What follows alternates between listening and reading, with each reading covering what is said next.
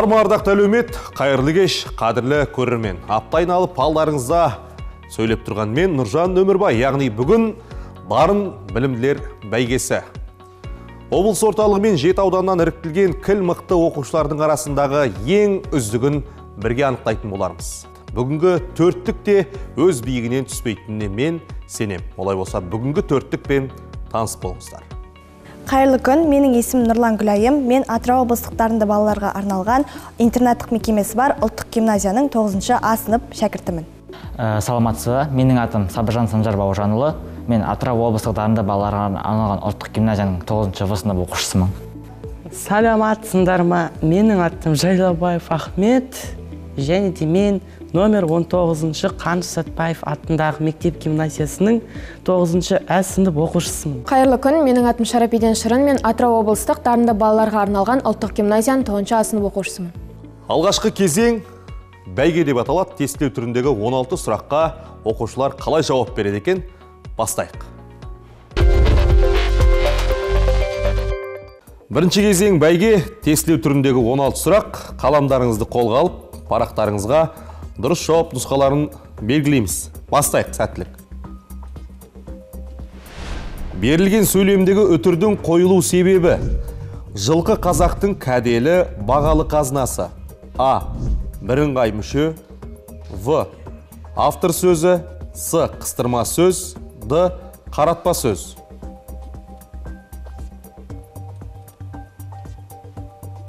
Келесі сұрақ. Хаттама мінездеме хабарлама стильдің қай түріне жатады? А. Публицистикалық стиль. В. Ғылыми стиль. С. Ресми қағаздар стилі. Д. Көркем әдебиет стилі. Үшінші сұрақ. Түркістан сібір темір жол құрылысында еңбек еткен адамдар саны? А. 100 мың. В. 150 мың. С. 200 мың. Д. 220 мың.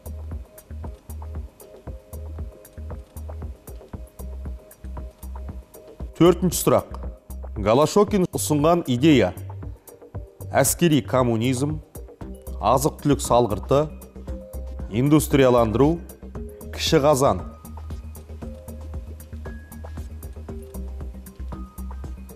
бесінші сұрақ. Ебі желі соғатын аймақ. А нұсқасы мұғалжар тауы в нұсқасы қаратау с нұсқасы жоңғар алатауы және д қаратау.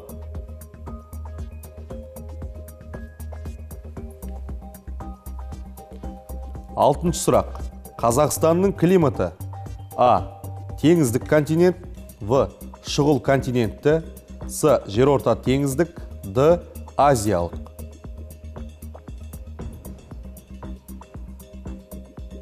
Жетінші сұрақ. X плюс үш көбейту x плюс төрт тең нөл теңдеудің түбірлері. А. Минус үш және минус төрт. В. Үш және төрт. С нұсқасы минус 3 және 4 д басқа жауап.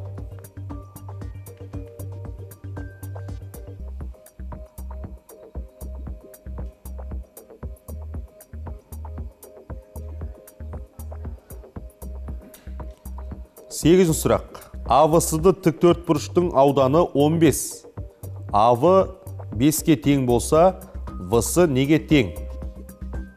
А 10 в 2 бүтін оннан 5 с 3 д 5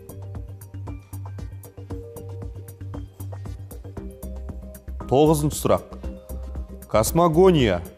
Ол а аспан денелерінің пайда болуын және дамуын зерттейді. В әлем кеңістігіндегі ғарыш аппараттарының қозғалысын талдап зерттейді. С бүкіл әлем және оның жалпы қасиеттерін зерттейді. Д ғарышқа ұшқан адамдарды зерттейді.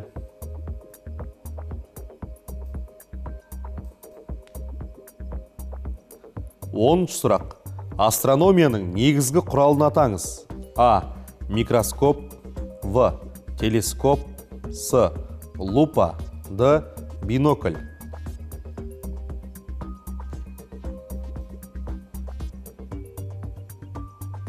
Он бірінші сұрақ.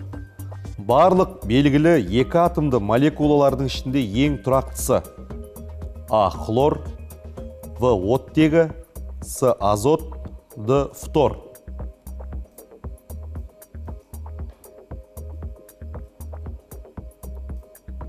Он екінші сұрақ. Сілті ерітіндісіне фенолфталиин тамғызып үрлегенде ерітіндісі түссізденеді. Белгісіз газ қалай аталады? А СО, В СО2, С СО2, Д НО2.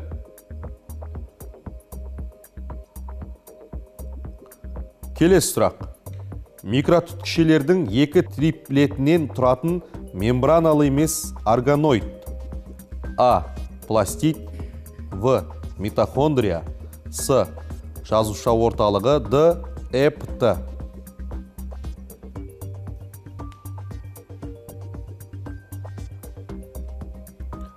14 сұрақ.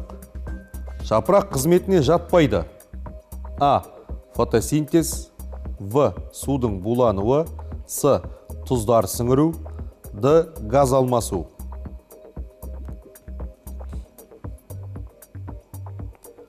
Он бесінші сұрақ. Мінгені исатайдың ақтабанай кімнің өлеңі? А. Махамбет. В. Абай. С. Ақан сері д шәкәрім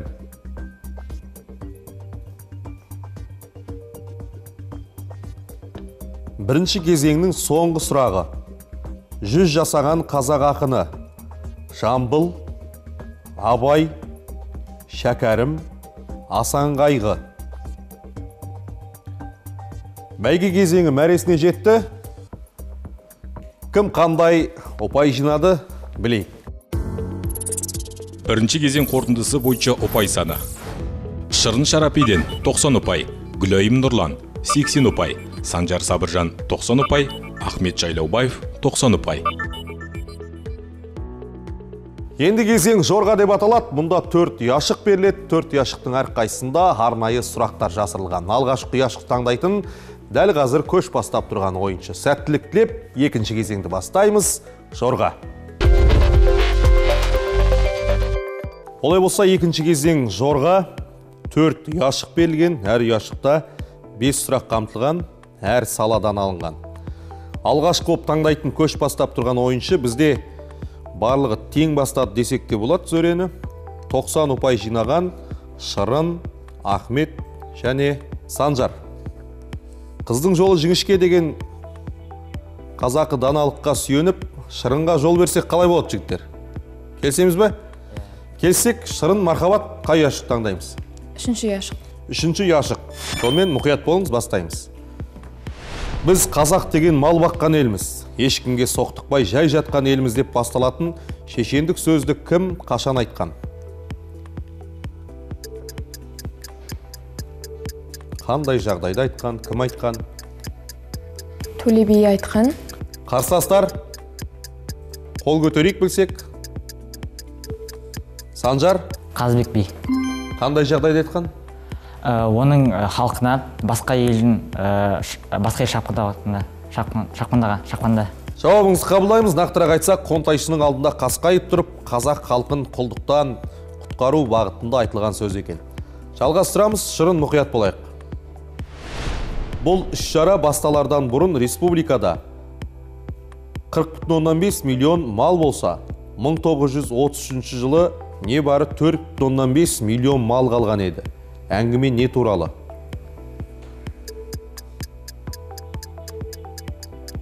Индустрияландыру.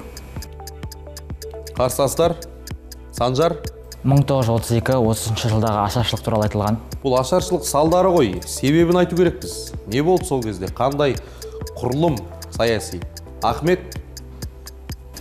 Голощекиннің кіші қазан сайысы иә бұл қалай аталады термині? Гүлайым. Голощекин саясаты. Бұл иә тұлғаның аты емес бізге саяси құрылыс керек болатын. Санжар? Тәркілеу. Жоқ бұл ұжымдастыру.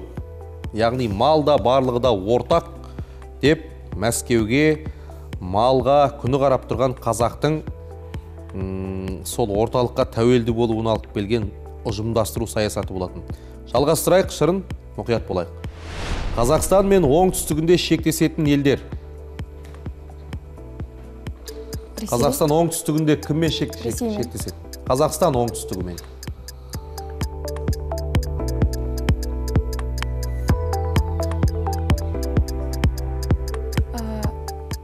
Қай ел оңтүстігі емес қазақстан оңтүстігінде қай елдермен өзбекстан шек қарсыластар? Ахмет? Өзбекстан қырғызстан және түркменстан дұрыс жауап қабылданады. Келесі сұрақ шырын. Ең үлкен үш таңбалы сан ең кіші бір таңбалы саннан нешеге артық? Жүзге.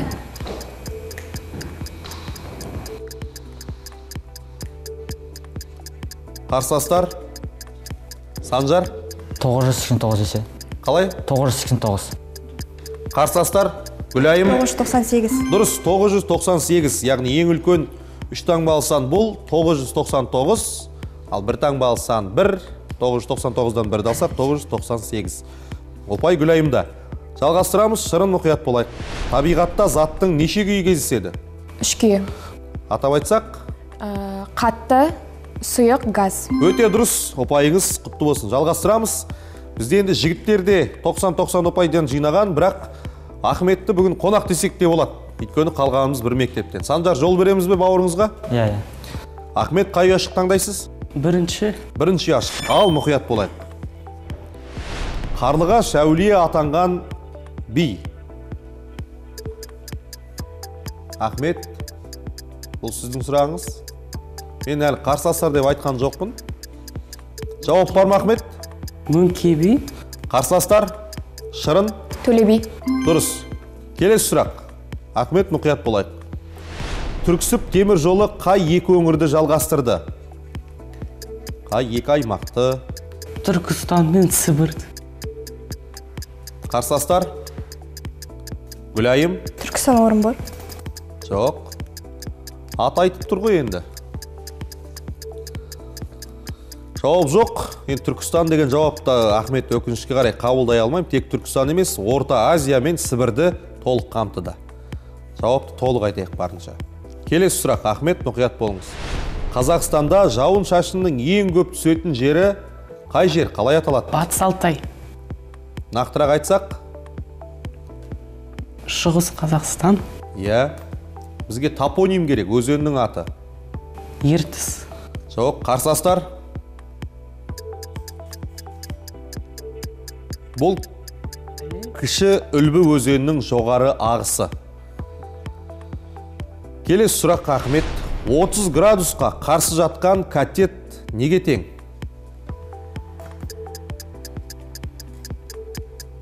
отыз градусқа қарсы жатқан катеттің неге тең болатынын сіз оқыдыңыз. Жаңылыспай жауап беру керек. Қарсыластар санжар. Ә, гипотенузаның жартысына. Дұрыс гипотенузаның жартысына тең. Ахмет сіз таңдаған ұяшықтың соңғы сұрағы. Заттың химиялық элементтерінің қасиетін бойына сақтаған ең кіші бөлігі.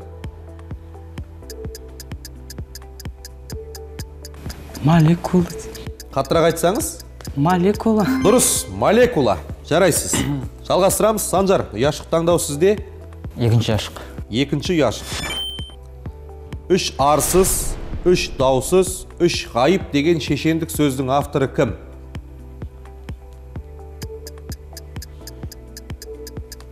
мөңке би қарсыластар шырын әнет би әнет би дұрыс айтасыз жалғастырамыз санжар түркістан сібір темір жол құрылысы пайдалануға берілді дейді қай жылы пайдалануға берілді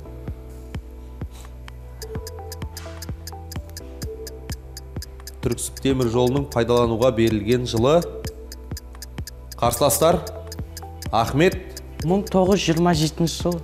Сәл қателестік гүлайым. 1931 жылы. Өте дұрыс ұпай гүлайымда. Жалғастырамыз.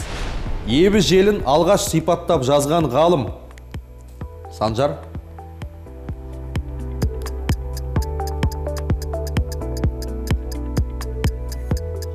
Қарсыластар сұрақ қайттан болады ма? ебі желін алғаш сипаттап жазған ғалым. Ебі желі туралы алғаш жазған. Шырын? Шоқан уәлиханов. Дұрыс. Гипотенузаның квадраты катеттерінің квадраттарының қосындысына тең. Бұл тұжырым авторы? Ә, пифагор. Дұрыс. Пифагор теоремасы болатын. Жарайсыз. Денелердегі өте ұсақ бөлшектердің молекула атом бір біріне араласуы қалай аталады?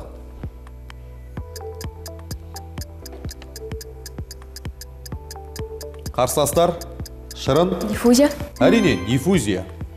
Жалғастырамыз қалған төртінші ұяшық бұл гүлайымға тиесілі. Гүлайым дайынбыз ба?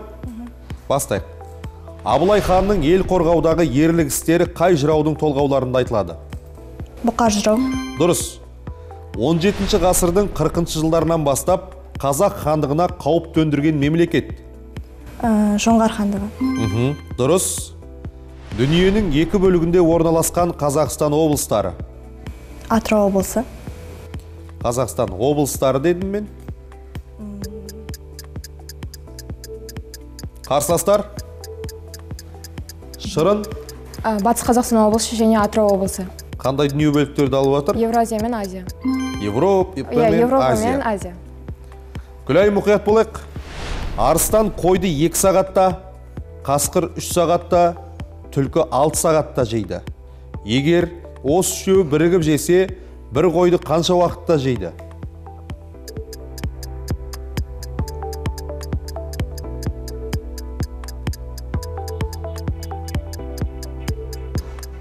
Үш. Қарсыластар? Жарты сағат. Қарсыластар? Санжар? Жарты сағатта жейді шырын? Бір сағатта дұрыс. Бір сағатта жеп тауысады екен. Температура нені сипаттайды гүлайым? Дененің жылу жылуын. Дұрыс. Дененің жылулық күйін. Осымен жорға кезеңі мәресіне жетті. Кім қандай межені бағындырды? Ұпай сандарына көз жүгіртейік. Екінші кезең қорытындысы бойынша ұпай саны.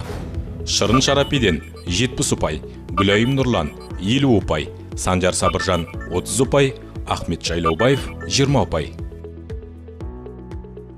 Екі кезең артта қалды. Алда шешуші кезең. Кімнің көкжиегі кең кім қаншалықты ағылшын тілін меңгере алды.